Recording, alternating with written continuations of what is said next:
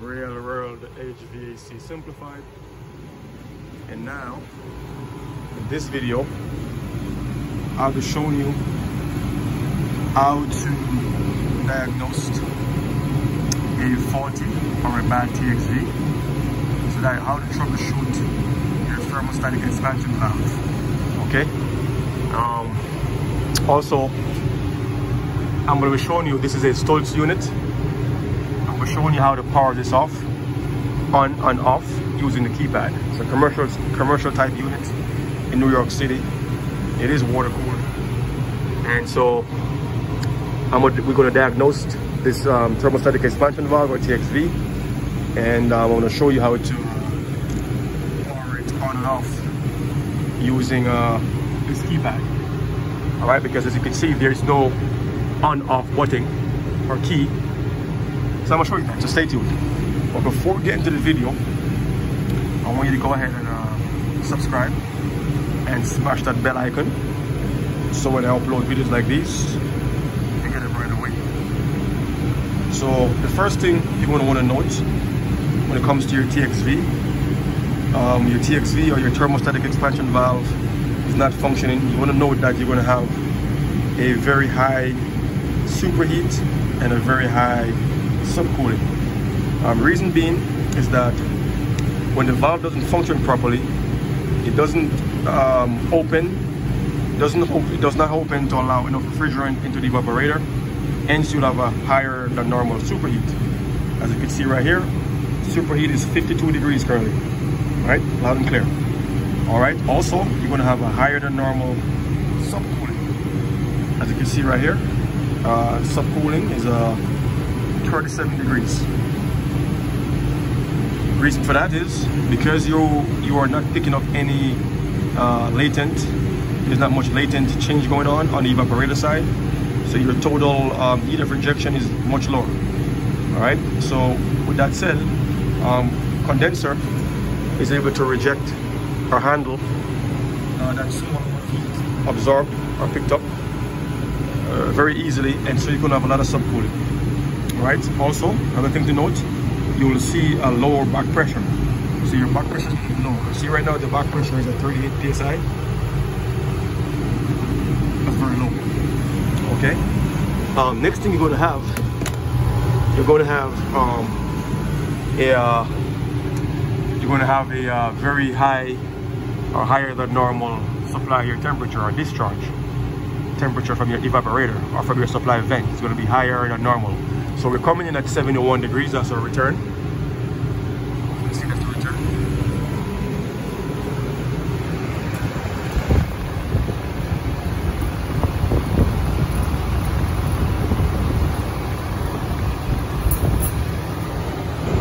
And uh,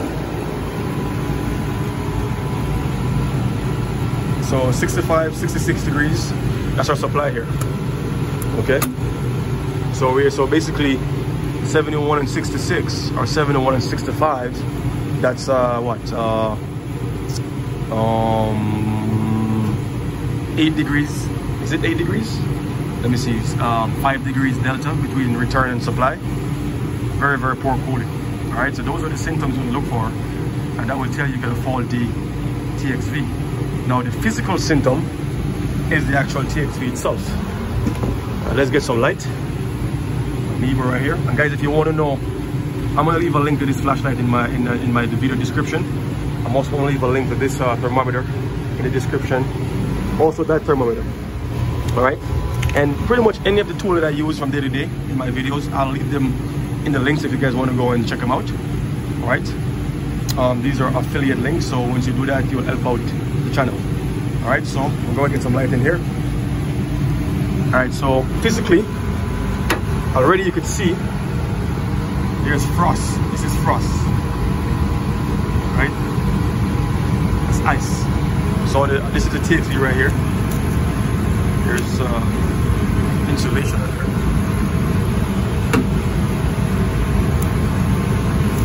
To remove the insulation. It's good it's icing up. Right? It's gonna be icing up. This is real time, real world, right?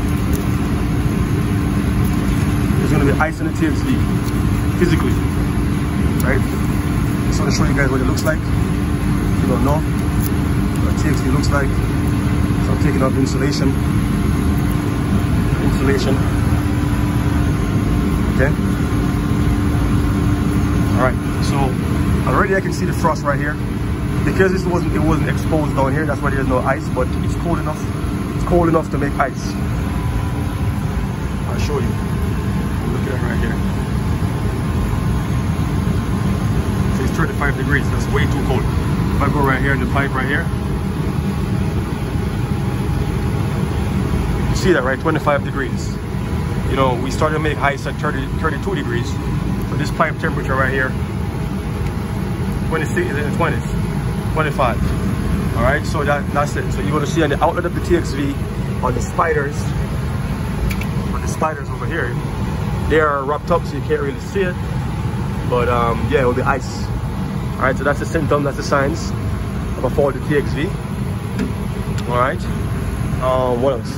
Yeah, that's pretty much it. Um, here I have my uh, uh, discharge pressure transducer on the discharge, the eyesight compressor. Again, this is a commercial type unit, New York City water cooled and I have my uh, um, high side temperature sensor on my liquid line. And I have my low side uh, pressure transducer on my suction line. And my low side temperature sensor on my suction line as well. All right so there you go that's the hookup. All right you can use your regular gauges if you if you don't have a you don't have this this tool right here. I'm going to leave that in the link too. All right this is rather expensive but i'll leave it anyways. If you don't have that you can use uh, a uh, regular digital gauges a regular analog gauges and um, a thermometer like this. This one. So what you would do you'd have to put this thermometer on your liquid line somewhere along the liquid line like so and just use um, some of something like this some of these tape foam tape and wrap it around wrap it around the tip so you can read the temperature. And um, once you have the temperature and you have the pressures from your regular analog gauges connected to the high side then you can calculate your subcooling. I'm gonna show you right now. So here let's just say if you had your your regular thermometer like this one on the liquid line. Regular thermometer on the liquid line. So you you you, you would be reading a temperature of 57 degrees right? And then what you would do now you would um, look at the gauges.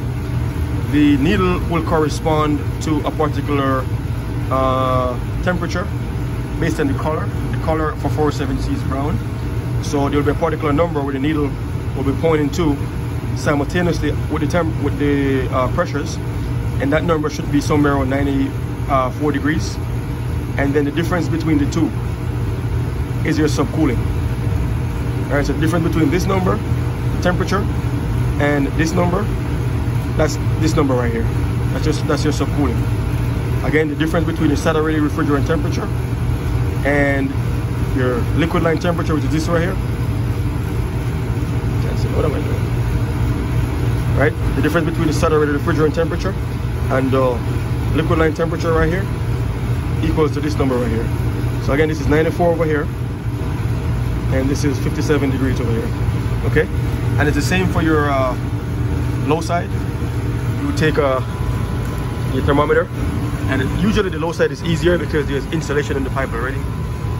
Um, okay, yeah, that right here is perfect.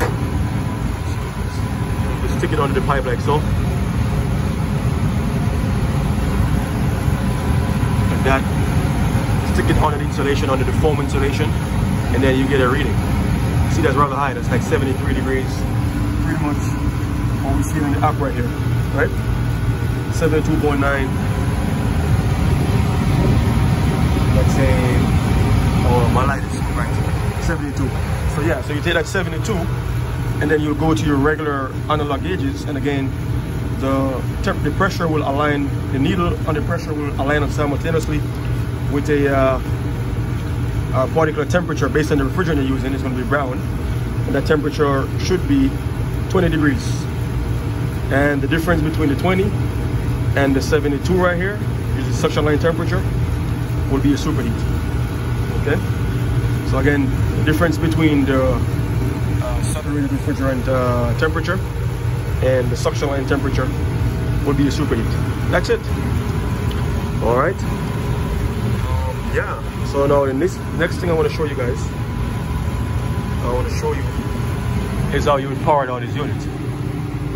Okay so how you do that is simply the enter key that's it.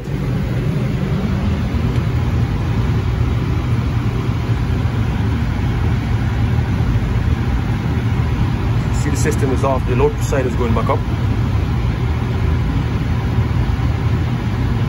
It's off right now. The compressor is off. The fan is still on so yeah that's a, that's how you diagnose a fault in TXV guys. Got questions regarding this leave it in the comment section.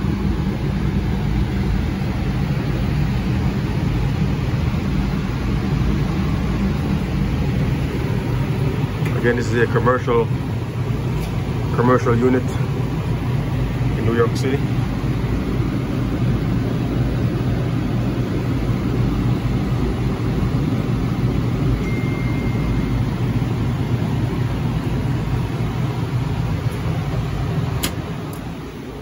it's completely off now.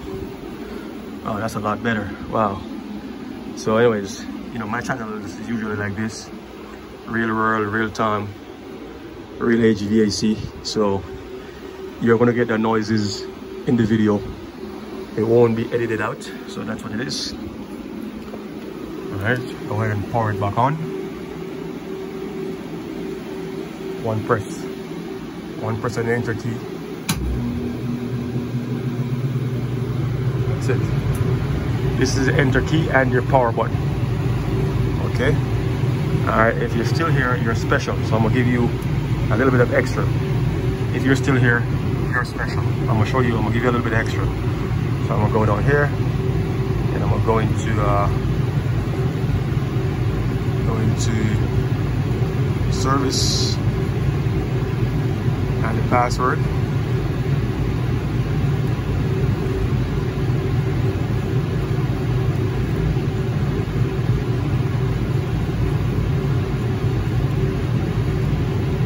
too far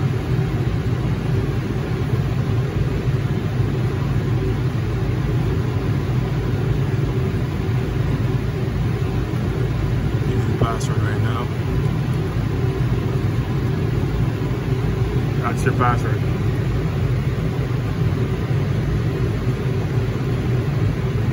You're in, baby. You're in. Okay. And you want to get into factory.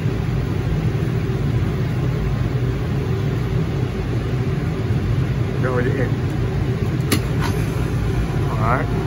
If you like this video, give it a thumbs up. If you haven't subscribed, subscribe. I do upload videos on a weekly basis. Compressor is back on.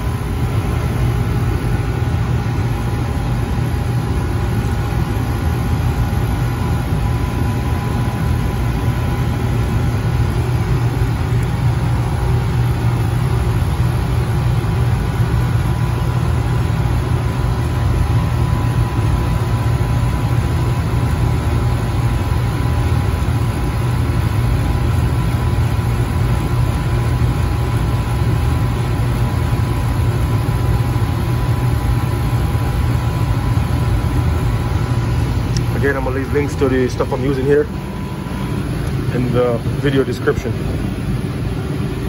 Okay.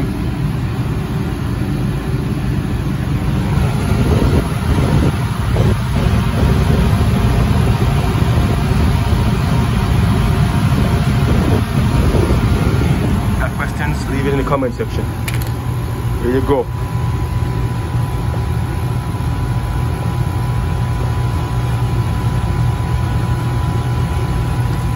about the TXV diagnosed. So a subscriber asked me about to do this to do this video sometime in the past. Here it is.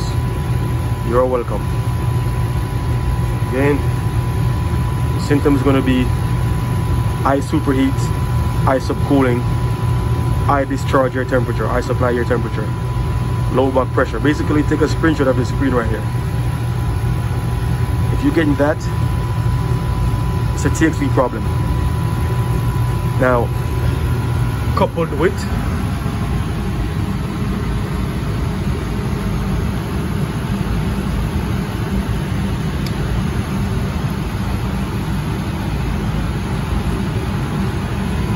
TXV itself physically is going to be frosting up or icing up on the outlet right? The outlet of the TXV the TXV outlet or the spiders to be frosted up you see this line right here the line is very cold okay the line is very cold and this line is once again